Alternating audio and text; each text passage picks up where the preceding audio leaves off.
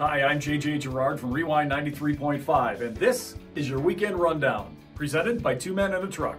On Saturday night, Dean Z, widely regarded as the best Elvis impersonator in the world, will be live at the UIS Performing Arts Center. If you know a fan of the King, they won't want to miss this. Monday, join the Springfield Lucky Horseshoes for a chance to meet one of baseball's greatest announcers, the 2023 Baseball Hall of Fame Ford C. Frick Award winner, Pat Hughes of the Chicago Cubs.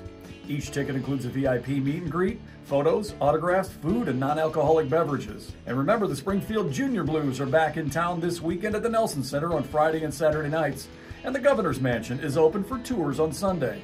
Be sure to check out our website for more information. Get a rundown of all our events on the community calendar at myrewind935.com.